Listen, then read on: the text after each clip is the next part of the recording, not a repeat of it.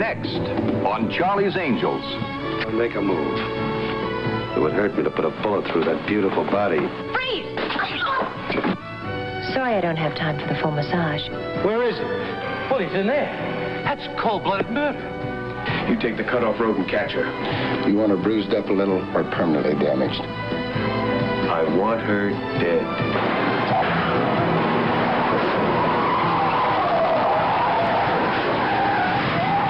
Charlie's Angels. Brought to you by Best Foods, makers of Hellmann's and Best Foods mayonnaise, Skippy peanut butter, Golden Griddle pancake syrup, Mazola margarine, and other fine products. Friday, a Halloween special starring Paul Lynde. Turning myself on. And his special guests, Tim Conway, Florence Henderson, Donny Marie Osmond, Pinky Tuscadero, and the incredible Kiss. Then, Rosemary's Baby has come of age. For a birthday boy. Satan has come to reclaim his son. No! Due to mature subject matter, parental discretion is advised.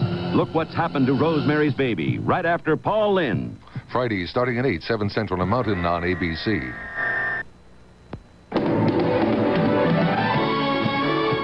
The Sweat Hogs are trapped in a museum's Egyptian tomb.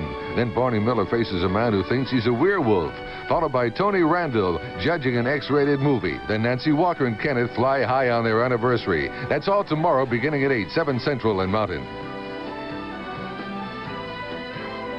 Stay tuned for the Rook.